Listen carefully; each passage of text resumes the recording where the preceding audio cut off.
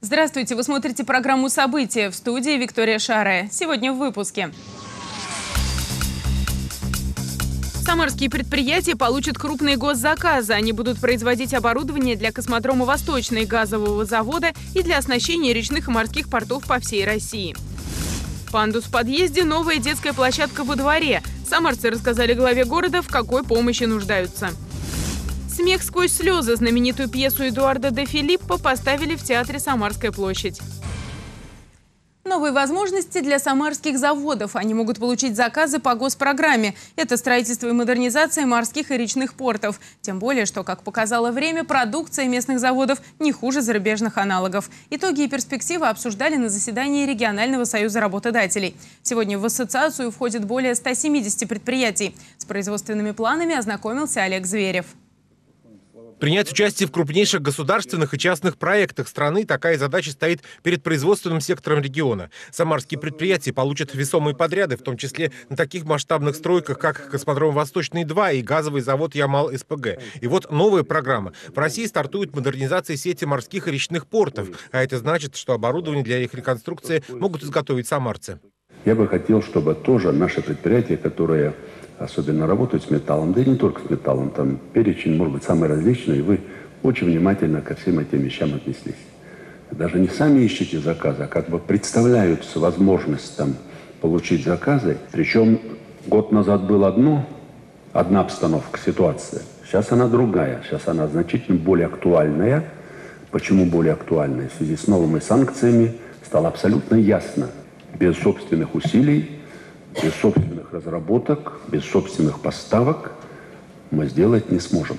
Время дает самарским предприятиям возможность занять ту нишу, на которую раньше могли претендовать и зарубежные. В частности, сейчас специалисты транспортной лизинговой компании изучают возможности региона. А вместе с заказами приходит прибыль, новые рабочие места и налоги на содержание городов и районов. Только так предприятия могут работать уверенно, тем более, что сегодня в стране есть масса проблем, которые сдерживают развитие производств.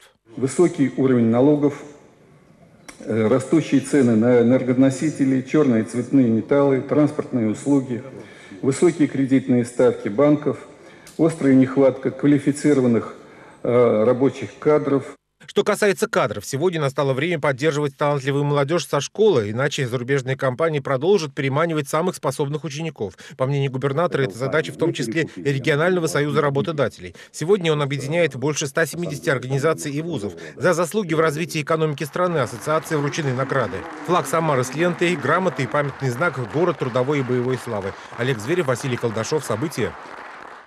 За неделю до 1 сентября все внимание направлено на обеспечение безопасности в школах. Губернатор Николай Меркушкин провел совместное заседание антитеррористической комиссии оперативного штаба Самарской области. В День знаний свои двери для учащихся откроют более тысячи образовательных учреждений региона. Серьезно следует подойти и к вопросам перевозок. На школьных автобусных маршрутах должно быть безопасно. С 31 августа и до окончания праздничных мероприятий личный состав органов внутренних дел будет переведен на усиленный режим работы. В том числе будет обеспечена круглосуточная охрана. Губернатор подчеркнул, в области должна быть выстроена четкая совместная работа по обеспечению безопасности 1 сентября. На самом деле каждому из нас, который сидит за этим столом, самим, и это у каждого рядового человека довести до сознания, что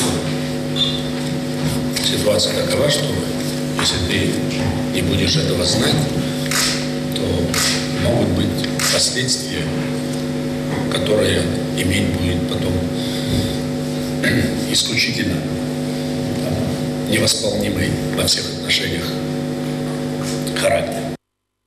Благоустройство дворов и улиц – основные вопросы, которые волнуют горожан. На прием по личным вопросам к мэру люди приходят с проблемами всего дома, улицы, а порой и города. Активные позиции поддерживаются и власти готовы помогать. На приеме граждан побывала и Марина Матвейшина.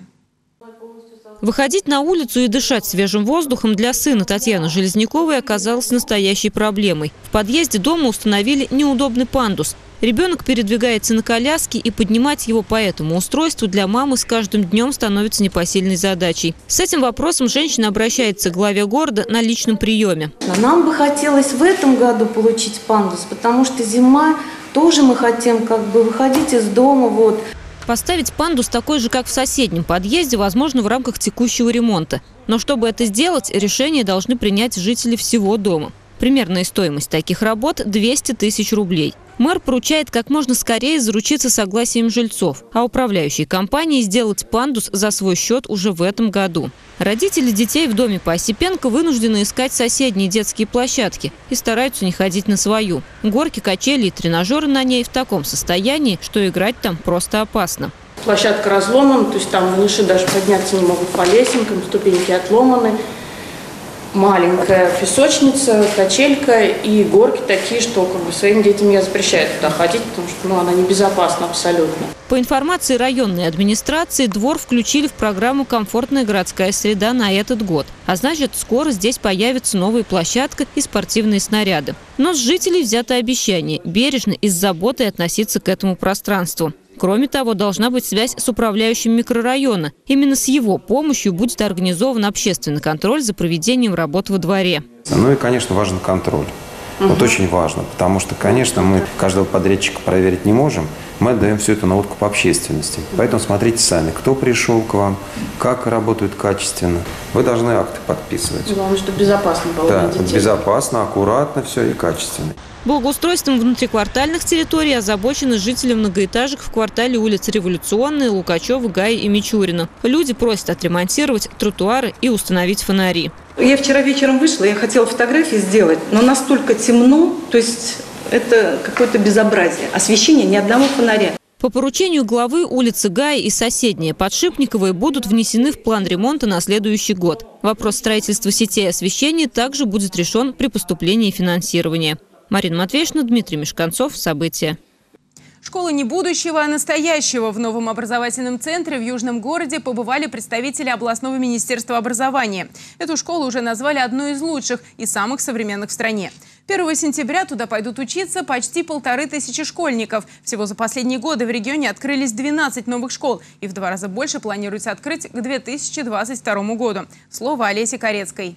Здесь вся атмосфера наполнена желанием учиться. Даже те, для кого последний звонок прозвенел много лет назад, в новой школе в Южном городе снова хотят сесть за парты. Здание практически готово к работе. Здесь есть отдельные блоки для начальных и старших классов. Четыре спортивных зала с площадками для гимнастики, футбола, баскетбола, волейбола и набор тренажеров. Большая столовая с двумя залами на 450 человек. Актовый зал, библиотека с медиаматериалами и читальным залом. Учебно-опытная зона с теплицами для занятий по биологии. В этой школе уникальность ее, что образование осуществляется далеко не только в рамках учебного кабинета. Хотя сами учебные кабинеты тоже замечательные. Вы видели, что э, трансформация внутри позволяет организовать любую работу. Школу уже назвали уникальной и одной из лучших в стране. Здесь каждый уголок многофункционален, как в самом здании, так и вокруг него. Не случайно это образовательный центр. Кроме основной программы, дети здесь будут получать дополнительные знания, заниматься в творческих мастерских. Да и сами учителя в будущей работе настроены на креатив. По внешнему периметру кабинета расставлены еще парты, сейчас довозится э, оборудование лабораторного практического характера, которое будет позволять не только по химии проводить здесь э, практическую часть, но и по физике, биологии, по географии, в общем, по всем предметам. Школа рассчитана на полторы тысячи человек, уже укомплектовано 55 классов. Все занятия будут проходить в первую смену. Новая школа стала одной из 12 открытых в Самарской области за последние 4 года. Еще 26 образовательных учреждений планируется открыть в ближайшие 5 лет. Олеся Корецкая. События. Хорошо поработали, попадут в кадр. В Советском районе Самары до 2022 года 26 дворов оборудуют камерами видеонаблюдения. И все это благодаря стараниям жителей. Они стали участниками программы «Чистый город». Своими силами привели двор в порядок. Теперь лучшим вручают сертификаты. На награждении побывала и Алина Чемерес. Привели двор в порядок, получают награду. Жителям дома на Южном проезде вручают сертификат на установку системы видеонаблюдения. Двор стал участником проекта «Чистый город». Жители провели собрание, определили, какие виды работ необходимы и направили обращение в районную администрацию. По словам старшего по дому, люди здесь всегда были активными и неравнодушными. Жители очень дружные. Вот благодаря им, их э, работе, вот можно повернуть, посмотреть. Вот скопали землю, разровняли всю, грунт разбросали три КАМАЗа чернозема. Здесь содержат площадку, с той стороны убирается все. Таких, как этот двор, в Советском районе 4, их выбрала комиссия. Систему видеонаблюдения в них устанавливают по программе «Безопасный город». Сначала предстоит определить, сколько камер потребуется, затем на это направить средства. Сертификат – это стимулирующая награда для тех людей, которые проявили активность на том этапе, который пригласил мэр города к благоустройству своих дворов. Во многом выполнялась работа силами жителей двора. В каждой территории определяется, жители принимают решение. Либо это спортивная площадка, либо благоустройство, либо это освещение, либо ремонт фасада фасадов. Проект «Чистый город» продлится до 2022 года. За это время в Советском районе сертификат получат жители 26 дворов. Алина Чемерис, Сергей Баскин. События. Далее коротко о других событиях дня. В Самарской области мошенник, посылая смс о выигрыше машины, собирал с доверчивых людей деньги. Тольяттинец создал три сайта, на которых была размещена лживая информация о призовых акциях. Перезвонившим ему людям он объяснял, что якобы выигранные деньги можно получить, если ему будет перечислен 1% комиссии от суммы. В итоге на удочку попались 24 человека. Они отдали мошеннику почти 190 тысяч рублей. Суд приговорил тольяттинца к трем годам лишения свободы условно с испытательным сроком 3,5 года. На правой половине кольца на Луначарского уложили асфальт. В Самаре близится к завершению один из этапов строительства развязки эллипса на пересечении Московского шоссе и улицы Луначарского. Напомним, ранее появилась информация, что в конце августа по правой стороне кольца запустят движение по направлению в город. Но одновременно с этим будет закрыт съезд с улицы Гагарина. Улица Алматинская в Самаре перекрыта до 3 сентября. Это коснется участка в районе Безымянского кладбища. Здесь идет ремонт теплотрассы. Из-за этого изменится схема движения автобусов номер 12, 21, 68, 89, 268, 297. Они будут ездить по улицам Черемшанская, Пугачевская и Ставропольская в обоих направлениях. В Самаре на территории бывшего завода «Зим» появится школа. Планируется, что она будет введена в эксплуатацию в ближайшие два года. В ней смогут одновременно обучаться полторы тысячи детей. Кроме того, в Самаре планируют построить пять современных школ, два новых здания для детских садов и реконструировать для тех же целей еще пять объектов. Жители Самарской области стали чаще жениться и реже разводиться. За первое полугодие 2017 в регионе зарегистрировали более 8,5 тысяч браков. Это почти на 6% больше по сравнению с прошлым годом. При этом подавляющее большинство молодоженов, 87%, предпочли провести свадебную церемонию в торжественной обстановке. Лидером по количеству зарегистрированных браков в регионе стал Самарский дворец бракосочетания. Наибольшее число мужчин и женщин вступили в брак в возрасте от 25 до 34 лет. При этом на тысячу образовавшихся брачных пар пришлось 789 распавшихся. «Смех сквозь слезы» или «Слезы сквозь смех» знаменитую пьесу Эдуарда де Филиппо поставили в театре «Самарская площадь». В персонажах комедии Филомены Мартураны легко можно найти знакомые черты их характера. Режиссер из Москвы Ирина Кирученко предпочитает перед премьерой проверять свою работу на зрителей и устраивает прогоны. Одной из первых в зале оказалась Марианна Мирная.